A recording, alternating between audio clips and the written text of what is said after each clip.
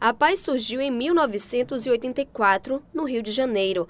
É uma associação de pais e amigos com características de organização social, com uma proposta de dar atenção integral à pessoa com deficiência, seja ela intelectual ou múltipla.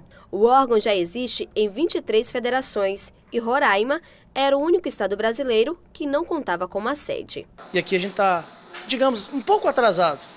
Estávamos, porque nós já temos a paz, já está funcionando e a meta agora é continuar buscando voluntários, parceiros, para a gente aumentar esse leque de atendimentos, porque a paz surge como uma outra opção. O que o Estado não faz, o que a Prefeitura não faz, até por limitações, a PAI surgiu para isso. A PAI Boa Vista está funcionando desde o mês de julho e oferecendo mais de cinco atendimentos especializados. Até o momento, mais de 200 pessoas estão sendo assistidas pela associação.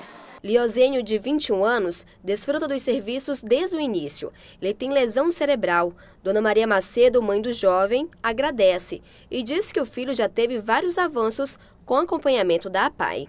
As pernas dele estavam muito encolhidas, a coluna muito torta e já está melhorando a, a, a coluna dele, a postura da coluna e, e os pés dele também, as pernas que estavam encolhidas, já está se queixando um pouco.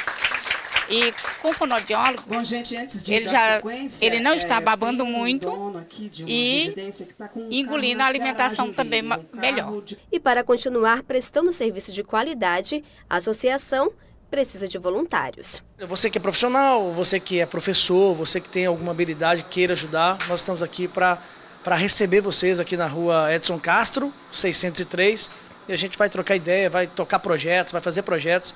O próximo passo agora é a questão educacional, e a gente está com metas ousadas para 2018.